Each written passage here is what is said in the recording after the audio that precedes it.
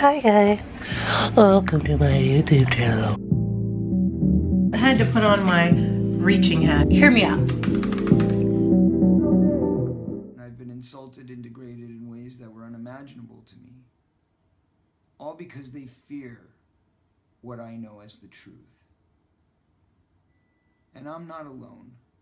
I know that there's thousands others that have experienced what I've experienced in the entertainment industry. I also know that there's peers of mine who know exactly what I'm talking about and know all the details, but have been afraid to come forward with their own truths. So it's pretty hard in my mind to think about these big flashlight photographs and everyone thinking they know me and talking about me, but having no idea the type of mistreatment that I was still dealing with at that time, that everyone around me saw and did nothing. Leo, as you know, is the latest, hottest, hunkiest teen idol there is. Yeah, his muscles.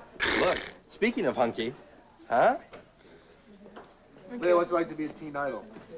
Uh, ask Kirk Cameron. Uh, I don't.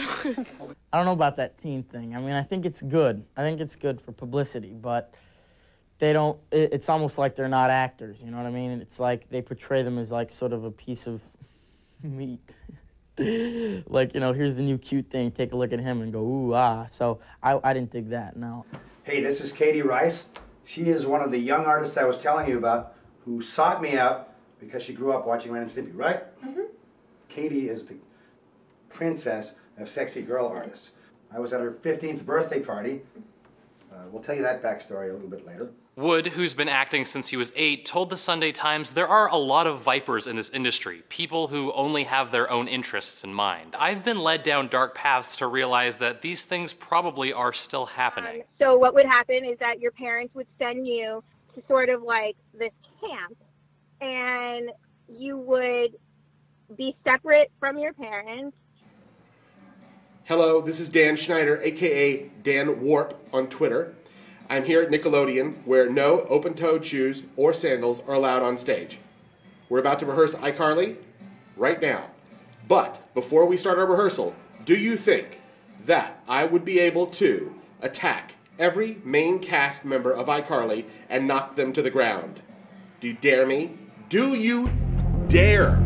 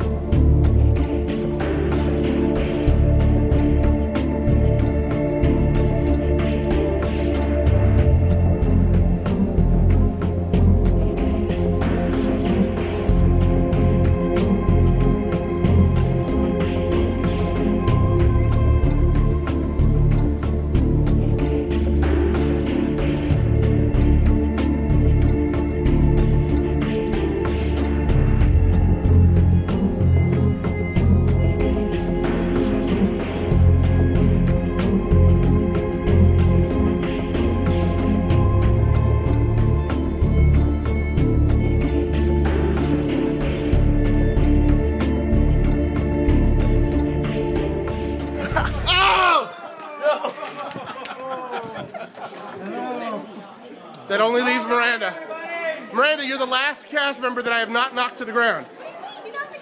I did not knock you to the ground. Oh, May the fourth be with you in honor of our Star Wars. Done! Nickelodeon and Dan Schneider, the longtime producer and showrunner of hit kids TV shows like iCarly, Drake and Josh, and Victorious, are going their separate ways after a long partnership. He has helped launch the careers of Kenan Thompson, Amanda Bynes, Victoria Justice, Miranda Cosgrove, Jennette McCurdy, and others. The network ended its relationship with Schneider after almost 25 years, and Deadline reported that the move happened as Schneider was, quote, under a cloud of suspicion over the treatment of some younger stars of his shows.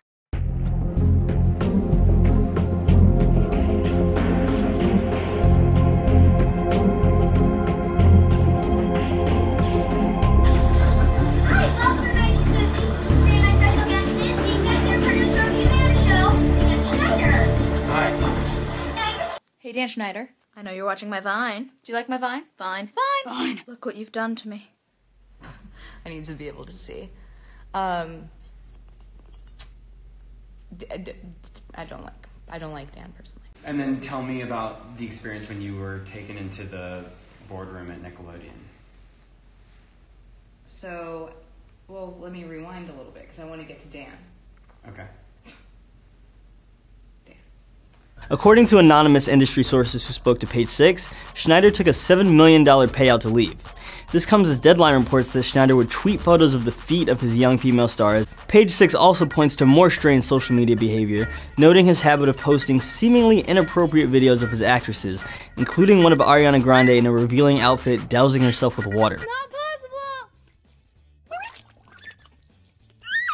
And claim that Schneider was the real father of Jamie Lynn Spears' child born in 2007. I get to, I can put them in any horrible predicament I choose. And darn that I have a good time.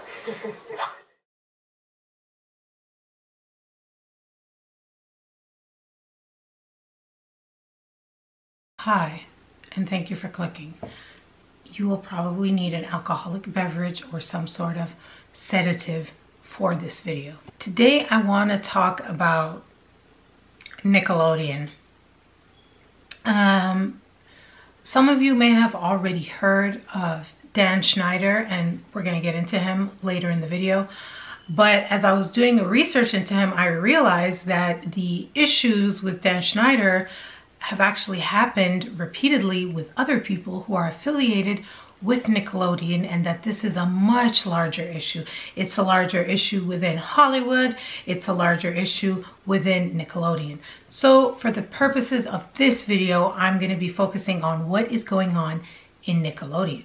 I will warn you, if you were a child of the 90s, this is going to ruin that for you and um, it ruined it for me so join the club okay but not the nickelodeon club so as usual before i begin i have to give my thanks to my returning subscribers thank you guys so much i hope you guys had a merry christmas happy holidays whatever and if you are new here hi this is me. I wear a tinfoil hat and I talk about true crime and conspiracies, especially both, cases where it's both, and today is definitely that. So with all that being said, let's dive in. Do you guys remember the TV show Ren and Stimpy? I used to love Ren and Stimpy. I had a t-shirt in a previous video. I was wearing a Ren and Stimpy t-shirt, which I need to burn. Um, and I love the part where it was like happy, happy, joy, joy. Remember that? Well, turns out it's nasty, nasty, ill, ill. Okay, why? Because the creator of Ren and Stimpy, his name is John um, Kricfalusi, but we're going to be referring to him as John K. That's what people in the industry refer to him as. John K. was very um, gross. Okay, well, he's gross, and I'll tell you why. So he had a method, okay, of targeting young girls, and there are two girls in particular that we're going to be talking about. John K. was actually openly dating a teenage girl and she actually lived with him as his girlfriend and it was an open secret. Everybody knew.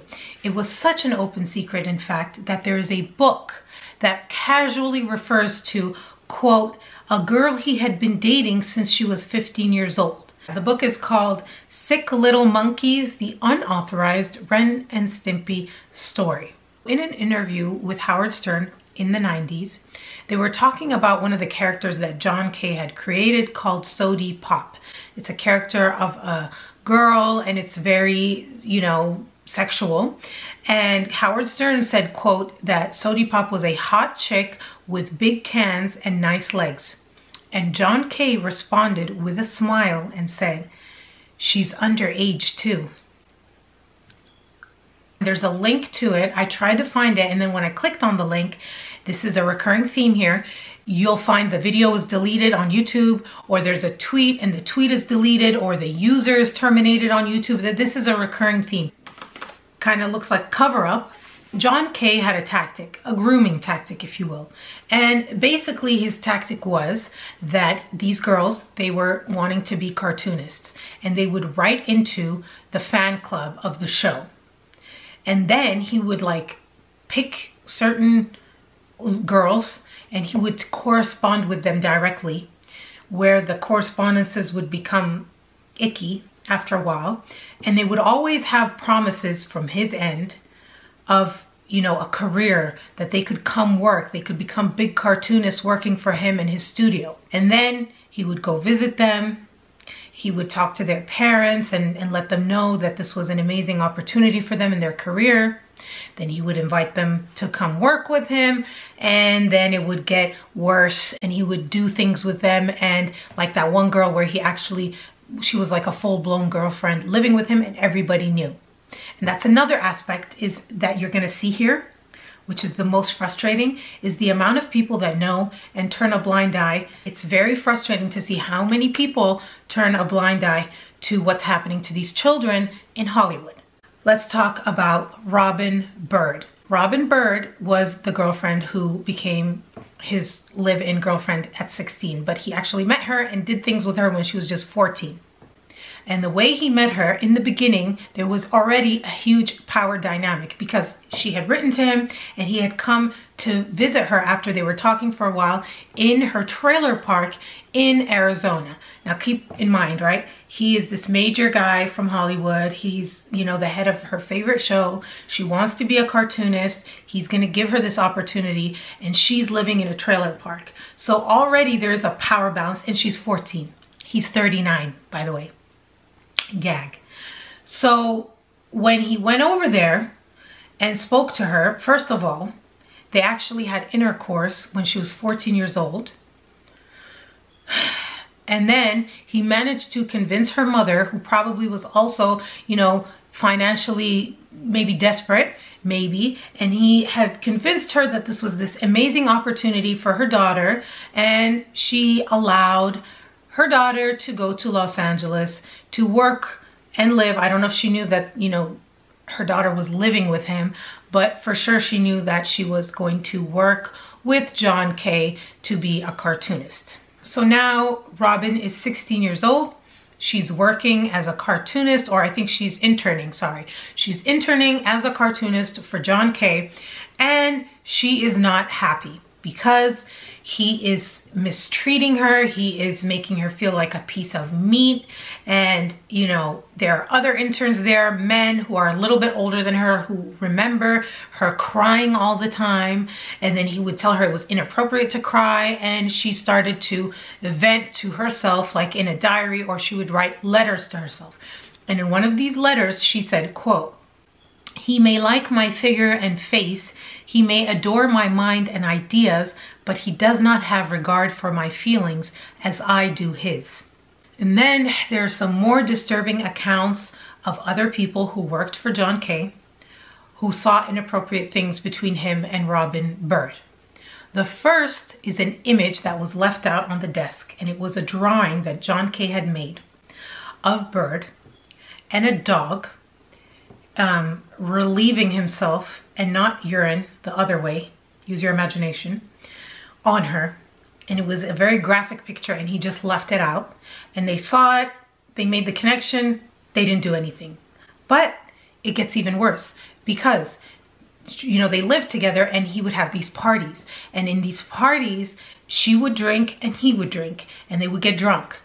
And it was at that moment during these times that John K would grab some of these guys, it happened to two different guys, and he would show them awful pictures that he took of Robyn performing acts. And they also mentioned how at these parties sometimes she was so drunk that she seemed to be in and out of consciousness as well.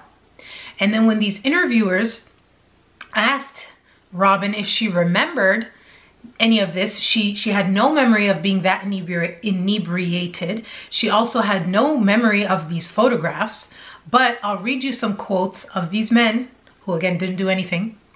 What they said happened at these parties. So the first one is an intern and he says that when Robyn was so drunk she was drifting in and out of consciousness, John K called him over. Quote, and then he pulled out these Polaroids of Robyn, basically, how can you say it? Going down on him, he's like, what do you think of that? And he claims, you know, he didn't say anything. He didn't confront her and, oh, it was awful and that's it. The other guy said this. At a party at his house, John K showed him, quote, a stack of Polaroids of him and Robyn having sex. He never mentioned the photographs to Robyn, nor did he confront John K about the interaction. During another party, another guy said this. John K had pulled out a binder of photographs of him and Robyn. Quote, it was gross. He said, he was like, oh, you like that? And I was like, no. But he didn't do anything about it. Although I will say, one of these guys regrets not doing anything about it. And that's why he actually spoke to media for this interview. And he said that, you know, he feels so bad that he didn't do anything about it, but he's trying to fix that by talking to the media now, saying that like me talking to you guys right now is the least I could do. So at least there's that, you know, better late than never. So Robyn says that she was feeling very neglected and mistreated by John. And so she decided to leave for a little bit and she did so by taking jobs at other studios. She left for a little bit, but she came back. And when she came back, she was shocked to find another young girl. I went and worked at a couple other studios because I just needed to have my space. When I came back, Katie Rice was there. Hey, this is Katie Rice. She is one of the young artists I was telling you about who sought me out because she grew up watching Ren and Stimpy, right? Mm-hmm. So, um, uh, Ren and Stimpy has a lot of uh, specialists on it. Like we have people who draw manly, we have people who draw uh, sensitive, we have people who draw sexy girls. Katie is the princess of sexy girl artists. Now I got to tell you a little history because um, all through the 80s, when I was working at Hanna-Barbera and Filmation and all these uh, studios, I always wanted to draw sexy girls into the cartoons. But since the networks were all run by, um, by dykes, they wouldn't let you because they thought it was offensive to women to draw girls cute, like Katie here. So um, it frustrated me and all the other artists that like to draw sexy girls. So when Ren Stimpy came along, I managed to get a couple of scenes, like in Powdered Toast Man. Uh, what's the name of the girl? The lovely assistant in Powdered Toast Man. Mm -hmm. Now, Katie used to watch these cartoons, and uh, didn't that crap inspire you or something? Yes, I love the girls. I like the uh, those uh, Lynne Naylor girls too, and uh, Stimpy's Big Day. Yeah, those were great. And uh, I think Katie showed me one time. She drew. Uh, I was at her 15th birthday party. Uh, we'll tell you that backstory a little bit later. And um, she showed me her sketchbook, and one of the drawings in it was a drawing, a copy of a drawing I did of my character Sody Pop. You still have that drawing? Yes, it's not very good. that was pretty cool. Anyway, she is now, as far as I know, the best artist in the business at doing uh, sexy girls. Draw the goddamn nipples. So we did, and Katie did, and uh, all the guys that had to follow up on her scenes spent a lot of time in the bathroom, let me tell you. So Katie was groomed in the same way that Robyn was groomed. She had written in to the show again as a fan, and then, you know, she started talking to John and then the conversations would become icky again and then he would promise her opportunities. She was 14 at the time and then eventually he came to visit her. He went to her 15th birthday party. He even admits it himself. He somehow, you know, kind of talks to the parents and convinces them that, you know, their child coming to work for him is somehow this great opportunity. And before you know it, long story short, Katie is now working for him in his studio in the same exact way that Robyn was. So Robyn comes back, she sees Katie, that she's been replaced essentially, and that's when she decides, I want nothing to do with this, and Robyn leaves, and then, you know, as she grows up, she realizes what happened to her, and it was so messed up and everything like that. So now going back to Katie, Katie is still there. And this is what Katie had to say about the inappropriate things that John K did with her. Quote, I want to squeeze you. I'm crazy about you, Katie. Do I ever make you tingle? Ew. And this was in an email that she printed and saved a few days after she turned 15. He was 41 years old at the time. Quote, I'm thinking about you very hard right now and I have a little tickle in my chest. Now this next thing is extremely graphic and I'm gonna try not to say the whole thing, but it is, I'm warning you, it's, it's nasty, okay? So, quote, she remembers several late night phone calls during which Kricfalusi said, quote, repeat after me. John's D slides in my pussy, quote, I mean, sorry, in parentheses, his pronunciation of the word, while he masturbated on the other end of the line. She refused and Katie Rice, who was naive about sex, said she didn't realize what he was doing at first until all of a sudden she did. The articles that I got this information from, the reporters who were writing these articles said that they were able to corroborate all of these claims by looking at AOL messages, emails, and letters, and as well as the witnesses who corroborated the story, although they didn't do anything about it at the time. But at least they were able to confirm these claims. I think that that's, that's a good thing that they did. These reporters, they reached out to Nickelodeon to try to get a comment, and Nickelodeon declined to comment, of course. But there's more, of course there is. There was a Nickelodeon productions assistant called Jason Michael Handy. And in his own private journal, Jason Michael Handy described himself in his own words as, quote, a pedophile, comma, full-blown, period. Now remember Mr. Handy for later. He's gonna come up again. So let's talk about him a little bit because he also worked at a church and he was mainly working around six-year-olds. Then he also worked obviously for Nickelodeon and he did a lot more things over there. First of all, he had access to the kids, which was exchange emails and telephone numbers with these kids. And then he would then contact them inappropriately. And then he would groom them with false promises of, of career opportunities he was actually sentenced to six years in prison after pleading no context, contest in 2004 to two felony counts, one of lewd acts on a child and one of distributing sexually explicit material by email and to a misdemeanor charge related to child sexual exploitation. This is what he would do. First, he would lure, uh, he lured a 14 year old girl through the internet with the promise of a television career. And then he flew to Michigan to meet her and he would meet up with her at her middle school and engage in quote inappropriate acts. Then there was testimony from a child that revealed that during a taping of the TV show Cousin Skeeter, he had befriended a nine-year-old girl and then began visiting her at her home. On one occasion while playing video games in her bedroom, he repeatedly kissed her. And this is, she said this to the court. Where are the parents? Why are they allowing this grown man to be in a room alone with her playing video games? Like what? what? Anyway, also he emailed naked photos of himself to an 11 year old child that he met on the set of the Amanda show. Now, I'm gonna get into the Amanda show and Amanda Bynes and Dan Schneider and all of that because that is insanity. But for now, I just want you to remember handy guy. So as if one production's assistant or PA uh, isn't bad enough for him to be a perv. Um, there was another one, also worked on Nickelodeon, also was convicted of horrible things. His name is Ezel or Ezel, Ethan Channel. I'll just refer to him as Ethan Channel. And he was a production assistant on the Nickelodeon Animation Studio. And he used his access to that studio to groom kids, okay?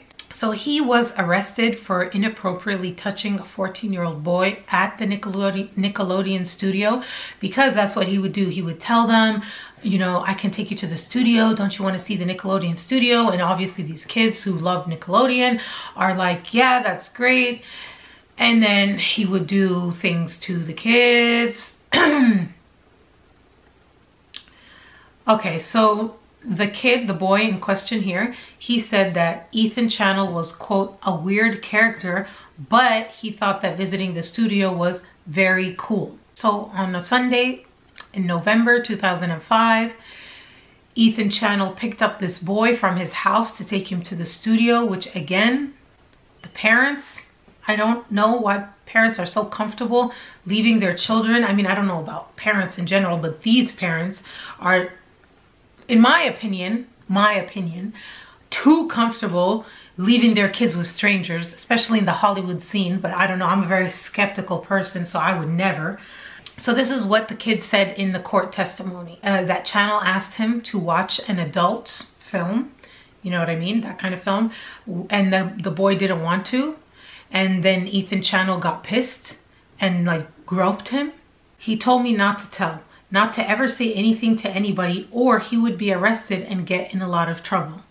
And then the boy was very upset and then he just like dropped him off home and then the boy told his mom and then, you know, that's when the case started and he was charged and everything like that. There's even more. Okay, I would say, you know, grab a snack or whatever, but uh, I think we've all lost our appetites, so let's carry on. Martin Weiss. Martin Weiss highlights, in my opinion, uh, how pervasive this issue is in Hollywood because he's not a production assistant, he's not a show creator, he's a talent agent.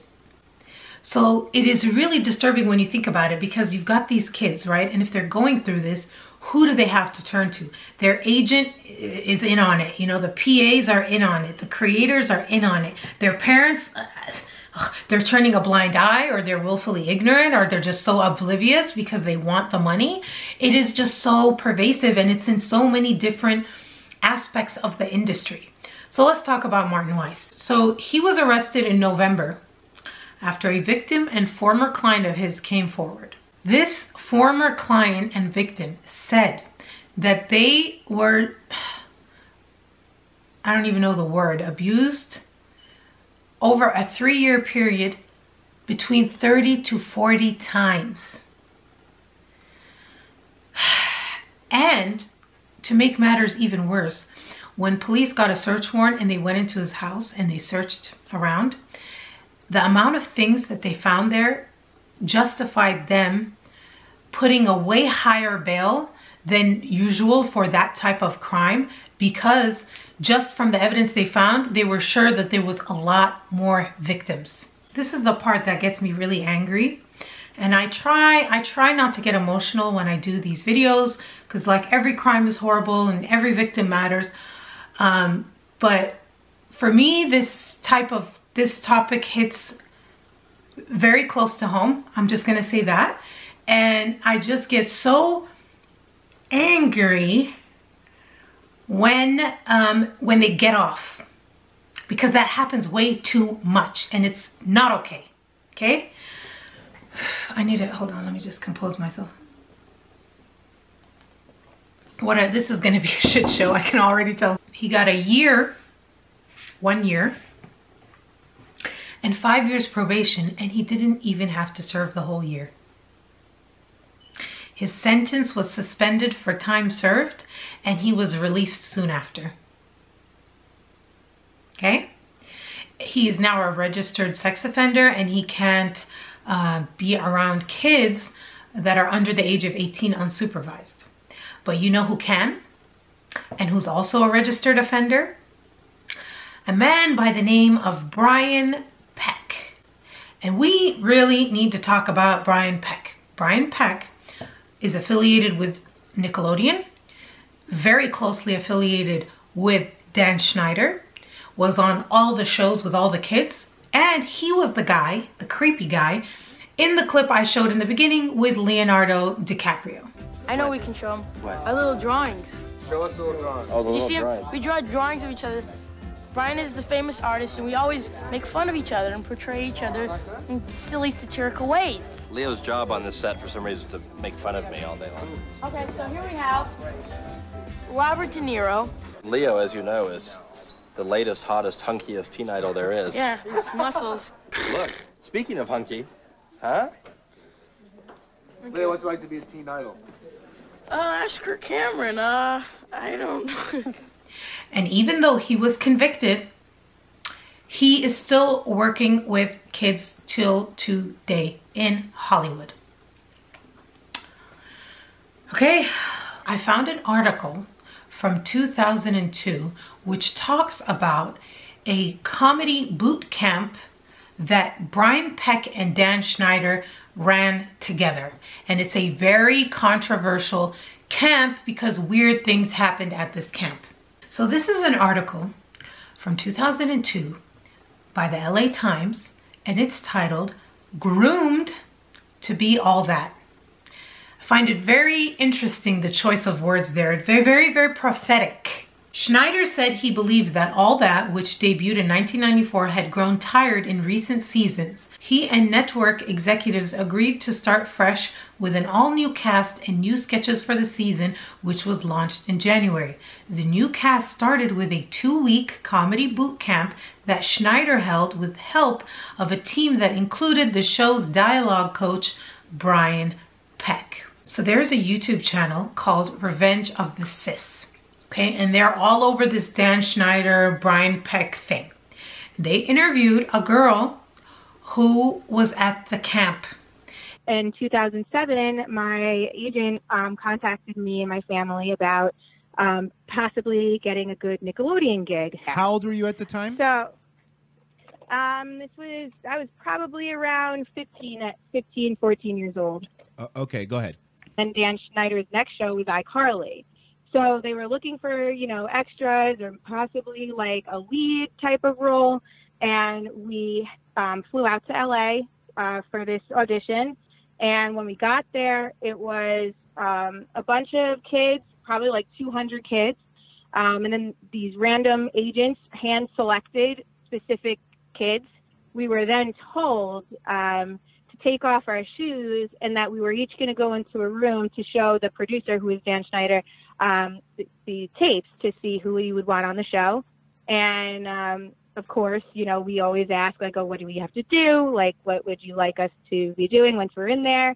He's like, you got to just take off your shoes, just like run around in front of the camera, you know, talk about how much you love being barefoot. So, what would happen is that your parents would send you to sort of like this camp, and you would be separate from your parents it was an opportunity for the kids to get discovered. And interestingly enough, most of the kids got discovered by the pool. There was a they had a pool, they had like tennis courts, and I believe like it was like Megan Fox and um, other female and Hilary Duff was another one mm-hmm. who got discovered there at the pool. And they would push you to do pool activities because they said that's where you, you have the highest chance of getting discovered. So now Brian Peck has been convicted of lewd acts against minors. Okay, these are the charges. Brian Peck was found guilty of two counts lewd acts against a child and oral copulation of a minor. And after Peck was done doing his time, he was welcomed into Hollywood with open arms. And why do I say that? Because according to IMDb, two years after he got out, he was still a registered sex offender and he was working on the TV show The Suite Life of Zack and Cody, which, if you guys don't know, it's a kids show. Mm, sorry, I just, it's just the rage the rage the rage of it all. The just mm, mm, mm, mm. okay so now i want to talk about dan schneider okay? A lot of people are talking about dan schneider and for good reason. Why? Because everyone that i mentioned up until now has been convicted has been charged or has admitted guilt. Dan schneider none of that has happened. Nobody has come out to accuse him, which I think is noteworthy. And we'll go over all the things that are suspicious and you can decide for yourself if you think there's something off with Dan Schneider. The only thing that reignited all of the talk, because there's been talk for a while, is when Nickelodeon let him go. They gave him like $7 million. They ended their relationship with him and the rumors all started swirling again and everybody was talking about like, because it happened around the Me Too movement, remember? It happened around that time and if you remember with Harvey Weinstein, nobody was saying anything. It was rumors, it was this. You've got NDAs, hush money, all these bigwigs, you know? So just because nobody has come out yet doesn't mean they're not going to, doesn't mean it's not happening. Again, my conspiracy allegedly, please don't sue me. I, do, I don't have Hollywood money. So Deadline was the first news outlet to report about, you know, Nickelodeon parting ways with Dan Schneider. And in that article, they mentioned the controversy surrounding Dan. And I want to read you some of those quotes. Okay, first of all, too, I want to say that, you know, in during the separation, like the statements from Nickelodeon and Dan and everybody was very much like, oh, you know, the shows ran their course. This has been a wonderful partnership. We love you, blah, blah, nothing negative. This is what the journalist says in that article. He says, among other things, I hear there had been multiple complaints of abusive behavior against Schneider filed by members of his staff. For years, Schneider had been under a cloud of suspicion over the treatment of some younger stars of his shows. Among the things that have raised eyebrows are his tweeted photos of the toes of his young female stars. And so now let's talk about Dan's foot fetish, which I never thought that I would be talking about a foot fetish on my channel, but here we are. What a time to be alive. Let's talk about it. So according to insiders, Dan's nickname is actually Dan, show me your toes, I'll put you in my shows, Schneider. And a lot of these rumors come from, first of all, you guys heard about the weird stuff in, in the video about the camp and, and the toes, but also his tweets and just straight up the things on the shows that he creates. In. Out. The. In. Out. In. After this, we massage my feet. No, gross. Come on, work the heel, rub it like a man. David, I hired him to read the book to me. Yeah,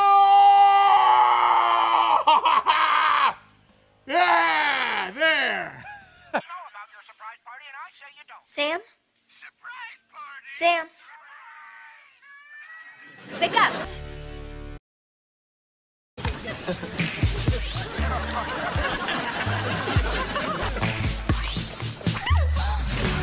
Okay, on three, I'm gonna. Just do it.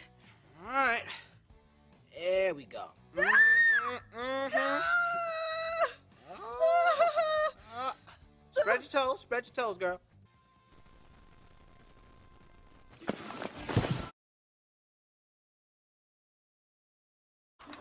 Yeah, my hand's starting to get palm cramps. Fine, take a break.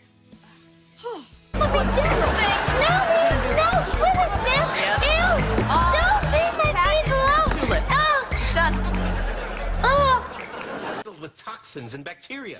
But feel our feet. Yes, I realize that they can nibble away all of the. Wow, they're really soft. Nurses, feel these kids' feet. Everyone.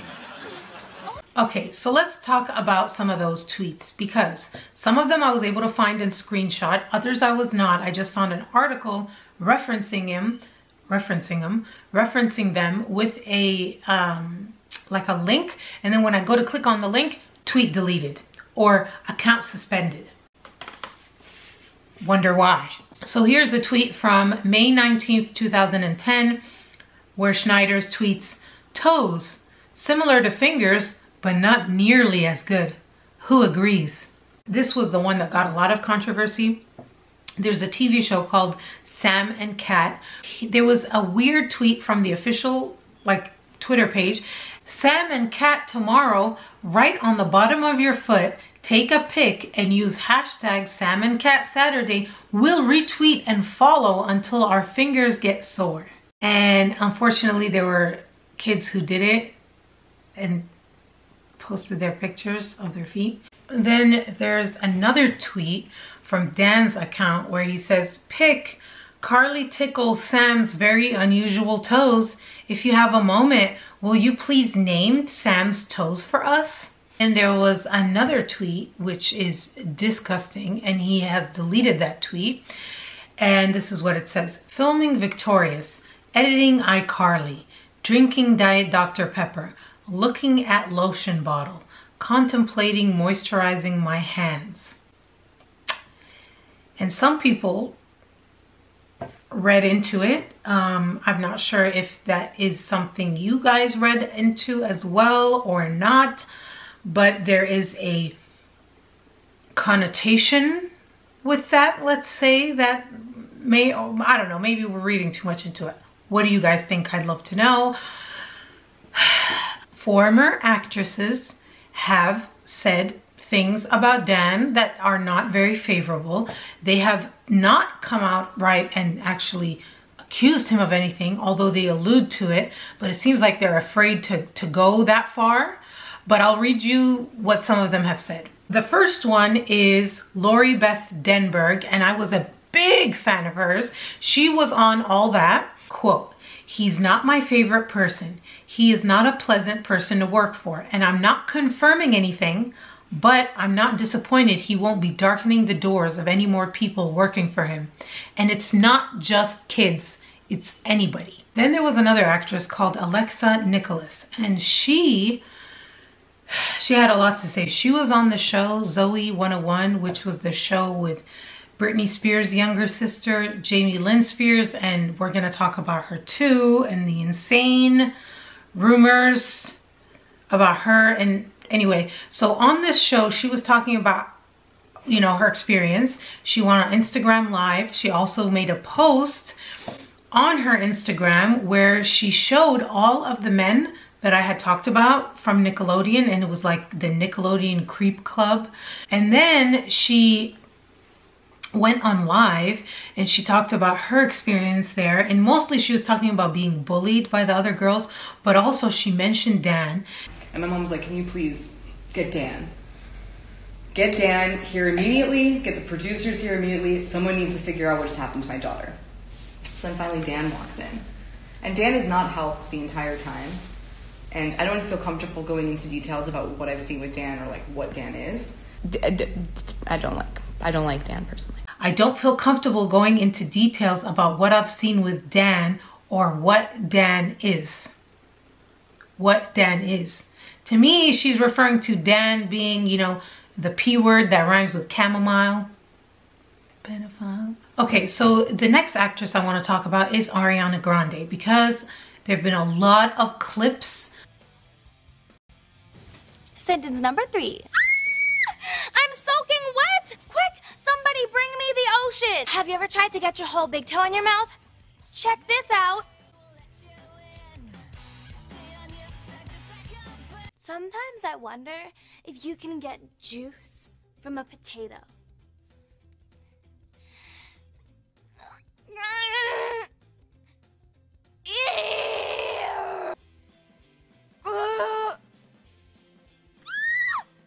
Come on, give up the juice. Ugh. Is it possible for a teenage girl to drink water upside down? Mmm, I'm thirsty.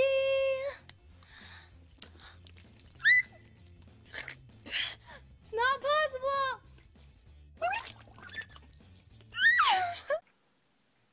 And stop giggling. Take four. Okay, what did the young shrimp say when his mom asked him why he wouldn't share any of his toys? No, no, no. No, that sounded like this. That- It, it sounded like, okay. What did the young shrimp say when his mom said he share any of his toys? Try it again. The interesting thing about her is she has not talked about it at all. Let's talk about Jennette McCurdy because, okay, she is the one in the clip where her makeup is smeared and she's like, Dan Schneider, what have you done to me? Hey, Dan Schneider. I know you're watching my Vine. Do you like my Vine? Vine. Fine. Fine. Look what you've done to me. So, I want to show a clip of Ariana Grande and another actress who's not Jennette, but they're on set and they seem to be having a good time and they're laughing and they're like on the floor. And then as soon as they see Dan approaching, Dan is the guy filming the video in this clip. As soon as they see him coming, they like immediately the energy shifts. They get up, they're like covering themselves up. She's like putting her hair in front of her chest. She's pulling her skirt down and their expressions change. But what I want you guys to notice is the different ways in which these two actresses react. Ariana is like joking and overly laughing and overly joking and things are fine and things are normal and that's her way of coping. The other girl is like shocked. You can look at her face and her whole expression changes. She looks terrified. And then she seems to get upset with Ariana for like acting like that and then kind of storms off. It's so weird. Watch.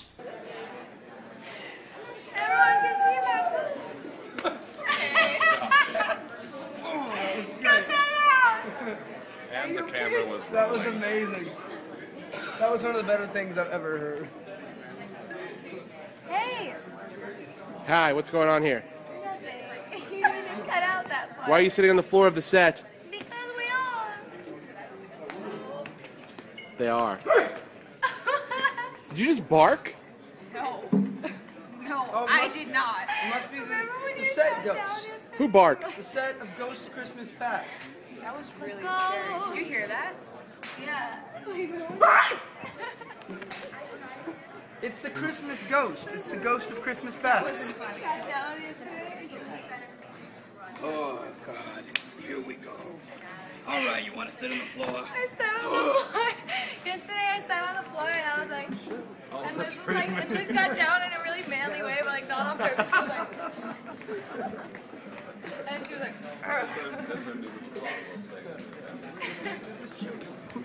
Everything is a show. And never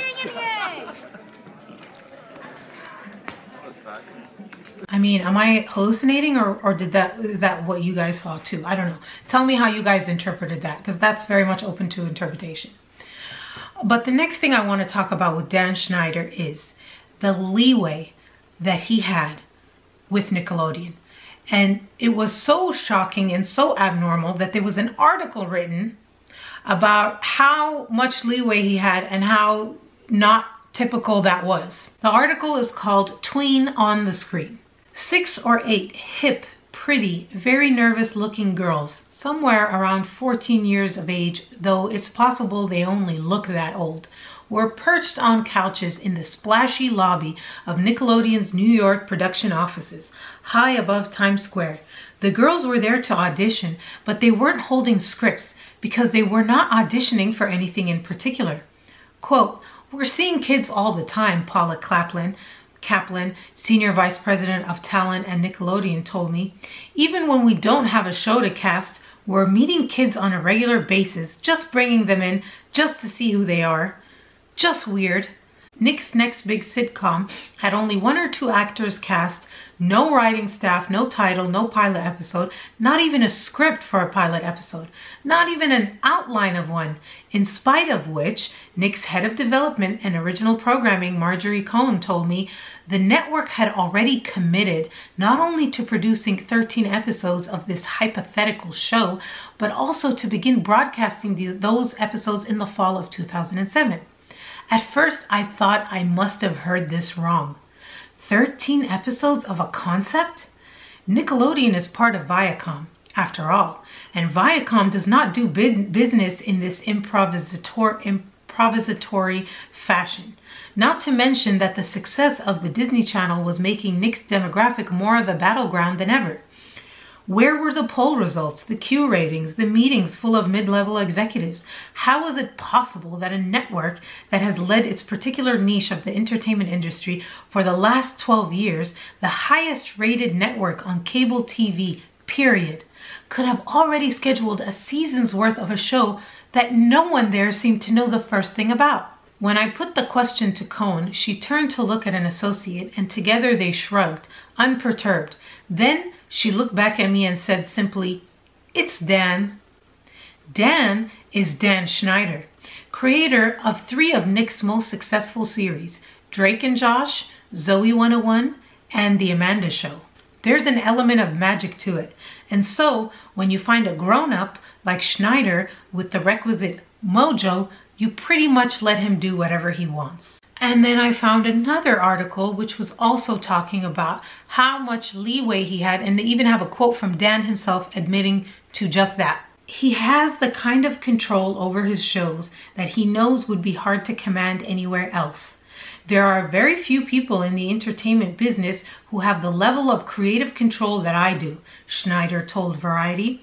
Nickelodeon has always been generous in giving me a lot of latitude. Putting it mildly. Now I want to talk about payouts and predictions because First of all, there have been a lot of rumors that the reason why you haven't heard anything about Dan Schneider is that Viacom, which is Nickelodeon's parent company, does these huge payouts to these kids, basically hush money.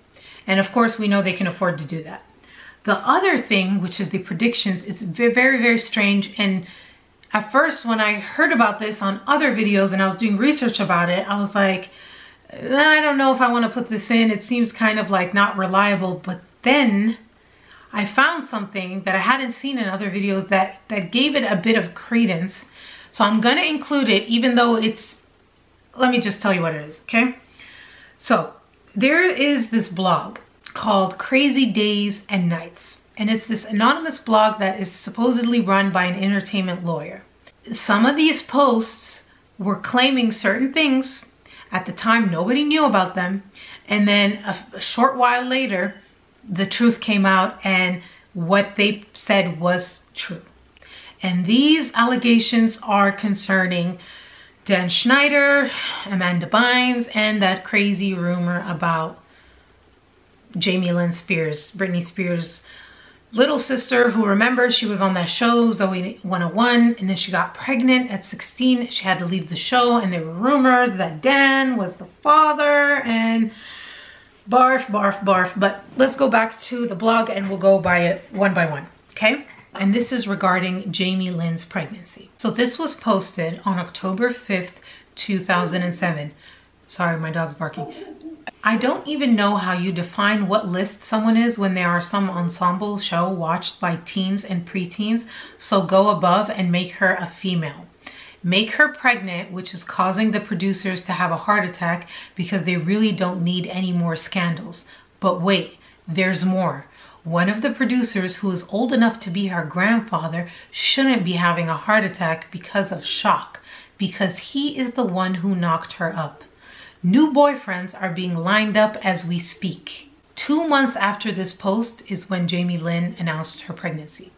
And so officially the father is, I think, Casey Aldridge or something. And maybe he is the father. I don't know. Some people say he was paid to say that and it's actually Dan. But of course, this is a rumor. There's no, I don't have any proof.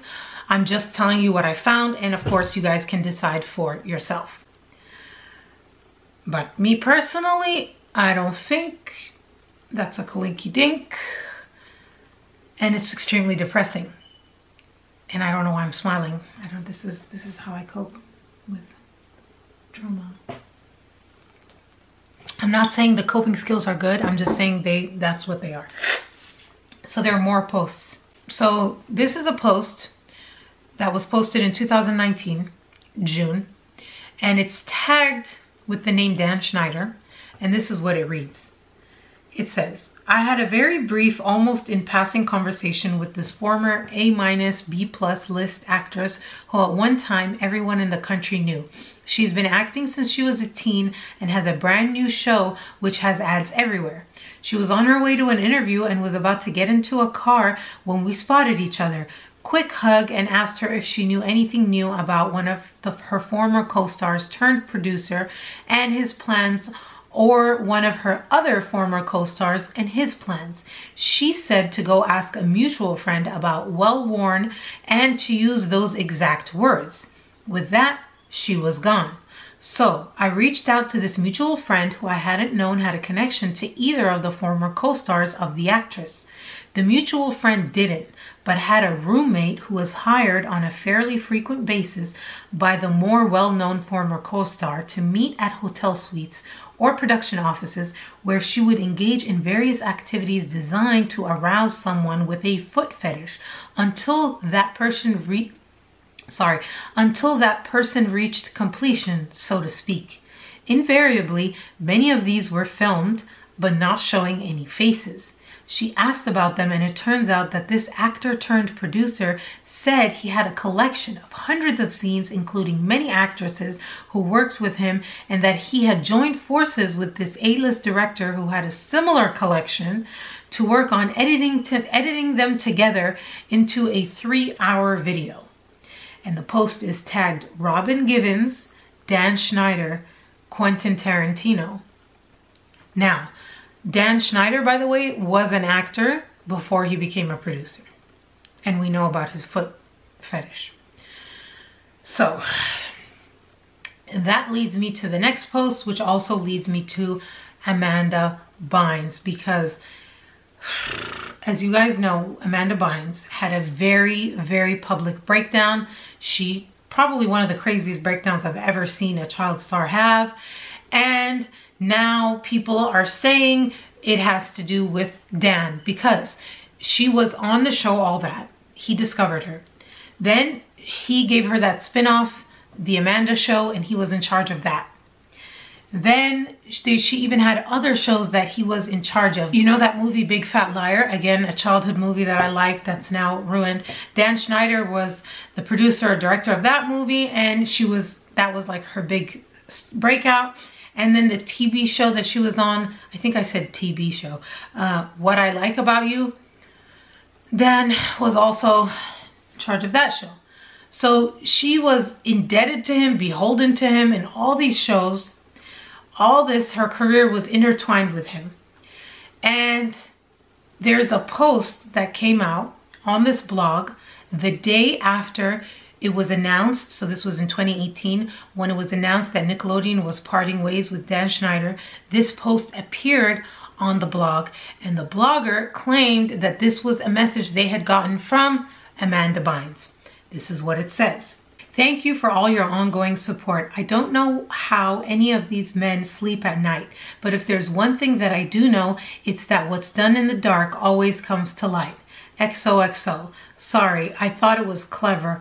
Unfortunately, I will, uh, I think that's short for unfortunately. I will obviously not be making any comment whatsoever for obvious reasons and unfortunately I feel as though the only way that legitimate stories can make the headlines regarding blank is if others publicly speak on his behavior. Blank was truly like a second father to me, but things have changed. After the second incident, I don't know if I'll ever be able to have children or have the family of my dreams. Which that last part, I don't know what that means. But people noticed that there was a weird capitalization in the message. And then when they took each letter that was capitalized, it spelled out Dan did it, which is like the most conspiracy thing I've ever seen. But I thought I would mention it. Do you know who else she was around in her time with Nickelodeon? Brian Peck and both of the production assistants that I told you about that were convicted of these lewd acts with a child. She was exposed to all four, four of those men throughout her career.